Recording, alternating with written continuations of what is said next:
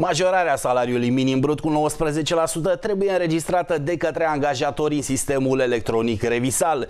Potrivit unei hotărâri de guvern adoptate pe 30 decembrie 2015, salariul de bază minim brut pe țară garantat în plată va fi majorat la 1250 de lei pentru un program complet de lucru de 8 ore.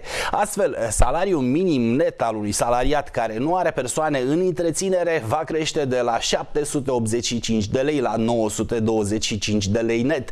Majorarea salariului minim pe economie pune presiune în primul rând pe mediul privat în condițiile în care marea majoritate a bugetarilor câștigă remunerații mai mari de 1250 de lei brut. Astfel, conform guvernului, datelor de la nivelul lunii decembrie 2015, dintr-un total de aproximativ 1.100.000 de salariați plătiți cu salariul minim pe economie, doar 39.000 erau angajați în sectorul bugetar, restul de aproape un milion de lucrând în sectorul concurențial.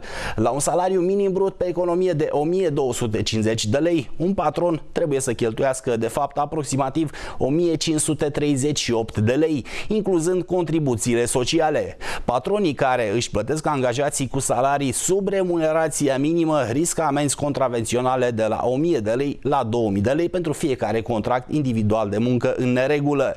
Și după această majorare, salariul minim din România rămâne pe penultimul loc ca valoare în Uniunea Europeană, cel mai scăzut fiind în Bulgaria. În schimb, statul ar putea câștiga pe seama contribuțiilor la pensie și la sănătate și a impozitelor pe venit din zona privată, precum și pe seama amenzilor de circulație, având în vedere că un punct reprezintă amenda, înseamnă 10% din salariul minim brut pe economie. Sunt Silviu Calotă și ținând cont de această fabuloasă creștere, acum vor cere și parlamentarii salarii speciale.